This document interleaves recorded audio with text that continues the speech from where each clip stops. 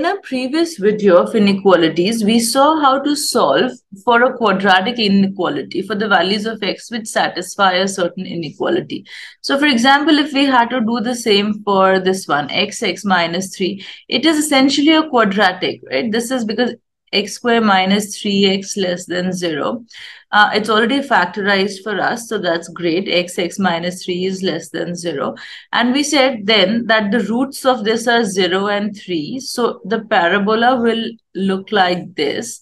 Here is 0 and here is 3 and this is what it'll look like and um, well it, it is symmetric just you know ignore this uh, now in in we want y to be less than 0 so we want those points where those values of x for which y is less than 0 and those are these values of x right? All these points. So whenever x is lying between 0 to 3 y is less than 0 because on the parabola the, those points lie here where x is between 0 to 3 and here x y is 0 is less than 0 so that is why we said that the solution to this is 0 is less than x and less than 3. Now, uh, notice over here that here y is positive for these points of, for these values of x. Here y is negative and here y is positive again. This leads us to the wavy line or the wavy curve method, the very popular one, and we'll discuss uh, the concepts of that now. So, Assume we have an inequality with these factors, x, x minus 3 is less than 0. So then less than 0, what does this mean? It means negative. Keep this in mind. It means that this thing is negative. Don't think of it as less than 0 because then our brain doesn't process it as negative or positive. Think of this as negative. We want that x into x minus 3 should be negative. So when will a product of two factors be negative? When exactly one of them is negative, then the product will be negative. All right. When will it be positive? When either both are positive or both are negative. Okay, so let's draw them on the number line, which is nothing but just the x-axis, right? We say 0 here and we have 3 here.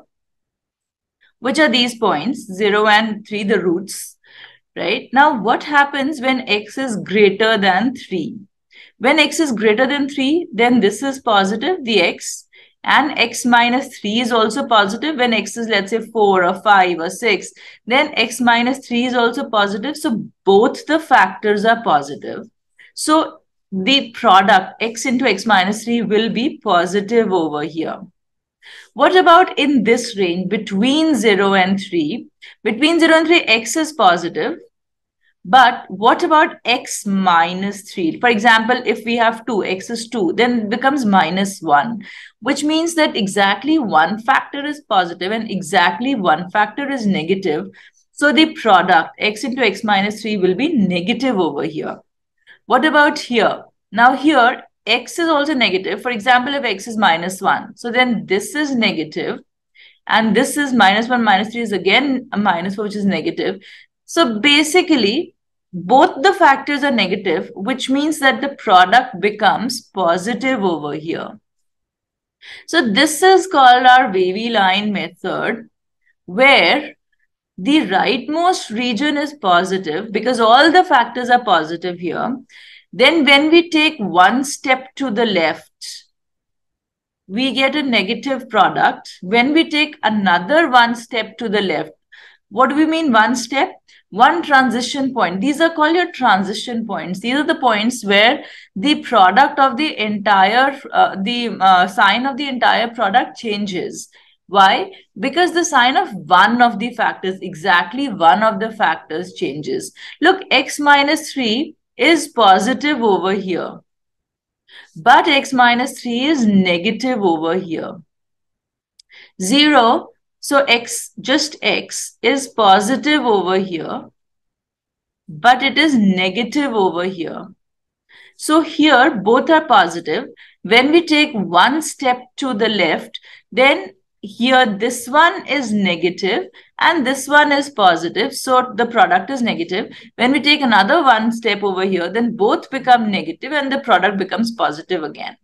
So that is how we say that the product will be positive in the rightmost region.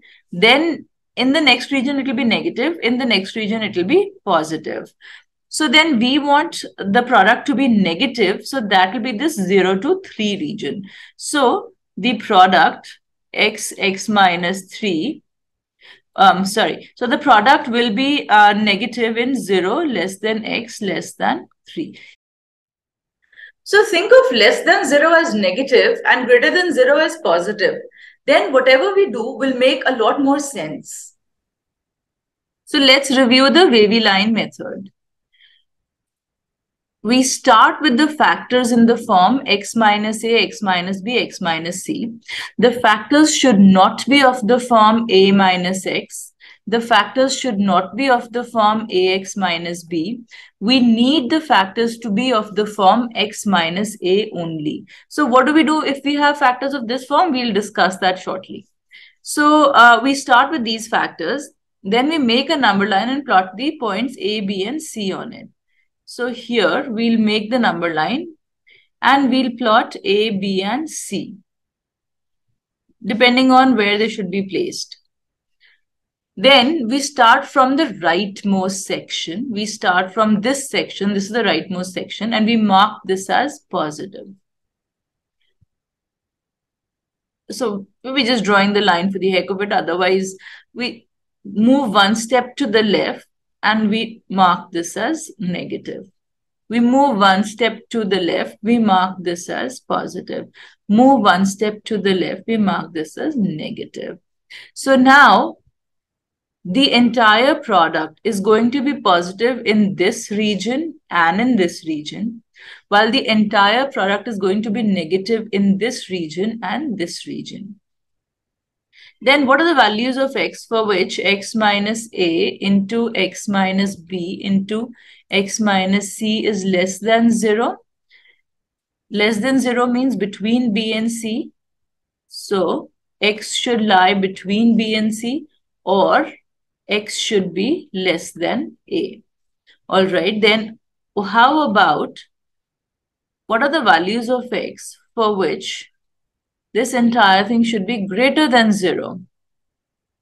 For positive, x should be greater than c or x should be between a and b. So, a and b. We start from the rightmost section and mark the sections with alternate positive and negative signs. So this is what we do to handle an inequality with multiple factors. Now we'll take a look at it using an example for how many integer values is x into x plus 1 into x minus 2 into x minus 7 less than 0. So first of all, all the factors are of the form x minus a. x is also x minus 0, so it doesn't matter. Let's plot them all on the number line, which is nothing but the x-axis, right? Okay, so minus 1, because x plus 1, then we'll plot minus 1 over here. That will be the point of transition. Then x minus 2, which means that we'll point, we'll plot 2 over here. And x minus 7, which means that we'll plot 7 over here. Now start from the rightmost region. This is positive. This is negative. This is positive. This is negative. And this is positive we want the entire product to be negative, to be less than zero.